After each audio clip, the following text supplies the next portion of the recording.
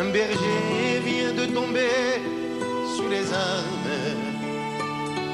Le cœur de l'humanité est en larmes. Et le monde bouleversé réalise d'un seul coup que la terre engendre quelquefois des fous.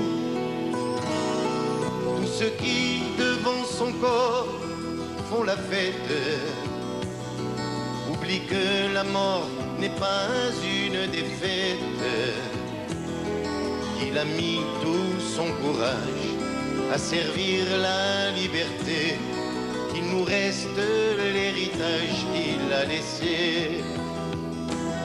C'est pour ça que je garde l'espoir. Il n'est pas venu par hasard. Le chemin nous l'avons tous en mémoire. Les martyrs ouvrent les portes de l'histoire. Un berger vient de tomber sous les armes. Le cœur de l'humanité est en larmes. La violence a de nouveau mis du sang sur son drapeau et lâché les loups au milieu des agneaux.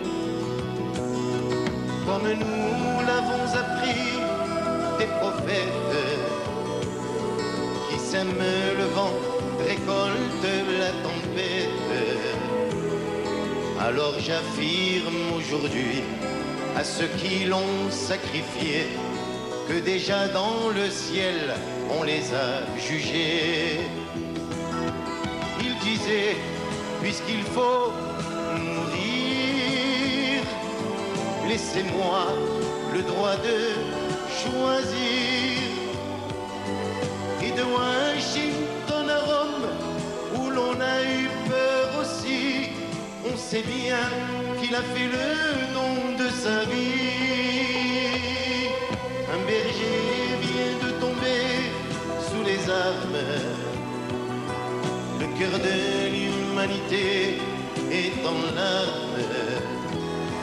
Les idées qu'il défendait et cette main qu'il tendait serviront un jour ou l'autre à faire la